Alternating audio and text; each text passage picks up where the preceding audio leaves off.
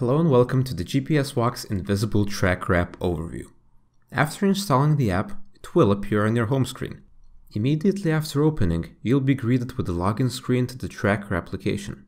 Enter your Tracker ID to log in. If you don't have an account yet, you can get one for free at gpswox.com. After logging in, press the plus button to create your Tracker ID which will be used to log in to the Tracker application. Please leave the server unchanged, unless you've configured your tracker to use a different server. For demonstrational purposes, I'm going to log in to the demo server. After logging in, make sure to give the location permission. Immediately after that, you'll be prompted with a message saying that the app has been hidden, and you'll be given a special number to use if you want to open the app again.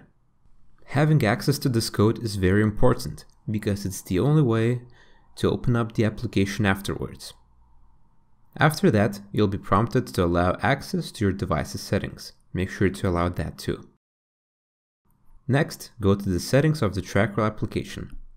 After configuring your tracker's frequency, distance, angle, and location provider to your liking, enable the tracker.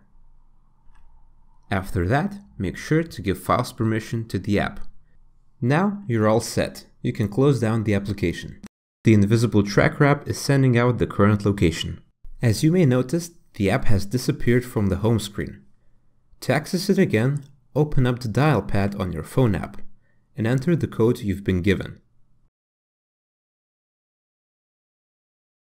Now press the call button and the track app will appear. You can change the code of the app by going to the settings and pressing the Set New Phone Number button. After clicking submit, your new code will be the only way to access the application, and the old one won't work, so make sure you remember it.